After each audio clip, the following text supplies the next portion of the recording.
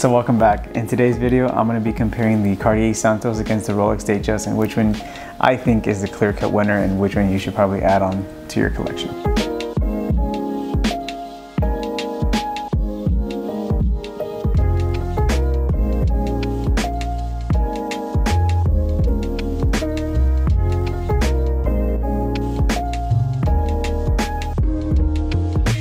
So for starters, I'm gonna talk about what I have on my wrist today. I have my Rolex Submariner two-tone bluesy. It's a reference 116613LB. It's kind of like the staple sport watch I have in my collection right now. And that kind of brings me into why I'm kind of comparing these two watches. So I've been very fortunate and blessed to have several watches in my collection that are from dress watches all the way to sports watches and even some vintage watches and some you know great watches like I have a G-Shock. But lately I've been going to a lot of weddings. I went to about six weddings this year, which is a lot. And I found myself always conflicted between which of these two watches I wanted to take. But lately, even on the days where I've been having a bit more of a casual wear, I find myself still choosing the Cartier. I can't remember the last time that I wore my Datejust or that I wanted to wear my date, just as messed up as that sounds. I know I sound very, you know, first world problem thinking like, well, you know, like I'm not really liking my Datejust anymore. I'm kind of not that fond of it. And to be quite honest with you, in my years of watch collecting, I've kind of found myself maturing and my taste evolving. And I bought the Cartier about three or four years after I had already been collecting watches. Keep in mind at the time, my collection was mainly Rolex. I had this, my Submariner, and then my Batgirl. And I wanted something different. I wanted something that was gonna stand out, which led me to buying the Cartier Santos. Something about its design just really obviously sets it apart from your typical round watch. So I want to get into the specifications comparing both of these watches side by side. So Rolex started in 1905 and the Datejust was made in 1945. It was considered the first self-winding chronometer wristwatch with a date function. For those of you who don't know, a chronometer is a tool used to determine longitude at sea. Off of the Rolex website, this watch is at $8,500. When looking for this watch on the gray market websites, I found it as low as $11,495 and as high as $13,275 on Chrono24. So the Oyster case is a round case. The dial can either come with stick, Roman, or diamond indices. The bezel can be either fluted or smooth. So the Rolex does have a case diameter of 36 millimeters it has a case height of 12 millimeters and a lug-to-lug height of 44 millimeters, along with a lug-to-lug width of 20 millimeters. And it has the Rolex caliber 3235 with that has a 70 hour power reserve. It does have a 100 meter water resistance, which is about 330 feet. One thing about the date Datejust is that it is extremely comfortable to wear. It has a very elegant and classic design. It is a great watch that you can wear to many occasions. You can dress it up and dress it down and have it as a daily wear. As of right now, I know that Rolex is having a bit more availability. There's still nothing available at the ADs, but you're probably looking at around a six to nine month wait at, from the AD. More than likely, if you walk into a Rolex store, this is not gonna be available. And if you want to have the watch now, you're gonna end up having to pay a premium or just have empty promises from the AD. I know people that have been waiting for a Datejust for six months, 10 months to a year for what's considered their second tier entry level model. So overall, the Rolex Datejust is a great watch, don't get me wrong. It has that timeless, elegant design, but it's just so common. You just see them everywhere. Not bashing on anyone that has a Datejust. Obviously I have one, but it's just one of those things that I feel that it's like your go-to, like, yeah, I'm just gonna buy a nice watch, call it a Datejust and call it a day. Without really doing your research and due diligence and finding out what's out there, what you can get for your money and see if over time your taste in watches changes. And to be quite honest with you, whenever I see a Datejust now out in the wild, I'm I'm not really impressed by it anymore. To be honest with you, I see Rolexes all the time. I'm much more likely to strike up a conversation and a good conversation with someone that has a Grand Seiko or a Tudor or a JLC or anything really. Which then brings me over to the Santos. So Cartier was founded in 1847 and the Santos was made in 1904. So the Cartier Santos does have this square case and being the fact that it is a square case, it does fit a little bit larger than a traditionally round watch.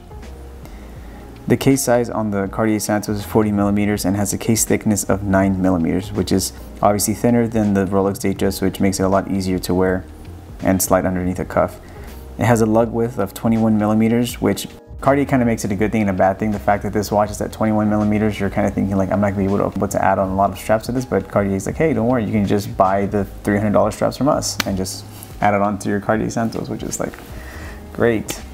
This watch actually features the sunburst blue dial with applied Roman indices with the date function down at the 6 o'clock. If I'm being quite honest with you, I've gotten about 10 times the amount of compliments with this watch than I have with the other watch. People are honestly mesmerized by it whenever they take a look at it. It features a Cartier caliber 1847 that has a power reserve of 42 hours. The Santos also has 100 meters of water resistance equivalent to the Rolex Datejust. So touching base on the design language for the Cartier Santos, it does have that squared case it mainly comes with the Roman indices. On the blue dial, they are applied, but if I'm right on the white dial, they are printed on there. This has an extremely smooth, polished, scratch magnet bezel. That's probably the only con to this watch. So there are two sizes to the Cartier Santos. The large model, which I have, that comes in either a blue or white dial, and the medium, which is only in the white dial. Though the medium does fit me a little better, given the fact that I don't have a large wrist, I honestly love the way that this watch looks a thousand times more. I loved it so much so that I was just like, I ignored the fact that it was a bigger watch. It didn't really fit my wrist, but I was like, I do not care. I love this thing. This thing is so nice. The bracelet itself doesn't taper as much as I would want it to, and it does have a butterfly clasp that is not that secured if I'm being honest with you. Cartier did start implementing their easy adjustment system on their bracelet for this model, which is really nice because I often share this watch with my wife and I can just pop off a few links and adjust it for her and then she's ready to go. And Cartier actually gives you a blue leather strap. I'm not too fond of it, but it's nice the fact that they give it to you because you can easily pop off the steel bracelet, add on the leather bracelet, and you have a completely different watch. So it's pretty awesome. The Cartier Santos for me is such a versatile watch, much more so than the Rolex Datejust. It's a lot easier to dress up and dress down this watch and even have it as a daily wear. You can throw it on a suit, you can throw it on when you're going to work, if you're just gonna do errands for the day, go to a family function, meet up with some friends, have some drinks. For me, the Santos is a clear-cut winner. From time to time when I've gone into a Cartier store, often at times I do see this model available. The white dial is usually more available than the blue, but I've seen this watch available, ready to sell, out of store, much more often than I have any Datejust, period. I know people may not be too fond of the fact that it's a square watch versus a round watch, but I think that's what obviously sets it apart. It has a timeless design. I mean, this watch has been around longer than this watch. So this watch is very stylish, it's stunning, it, it feels really high quality. Don't get me wrong, the, the Rolex Datejust is really nice and it's a it's an amazing watch with a great heritage, but if I had to choose one, to keep into my collection, I would definitely end up choosing the Santos. You don't see them too often, and the times that you do, you always do a double turn. I always find myself doing a double turn because of the fact like that bracelet, you can spot it from across the room. If you see a squared case along with a high polished bezel, you know that's a Santos. And that's the great thing about this watch. Bringing me to have to only keep one of these in my collection. I am gonna be parting ways with my Datejust. I hardly use it. It's a great watch, it's a beautiful watch, it has a very special place in my heart, but I really don't see a need to have both of these in my collection anymore.